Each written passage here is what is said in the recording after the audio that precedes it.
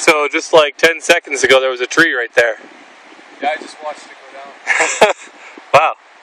Turn away for a second, it's gone. Yeah,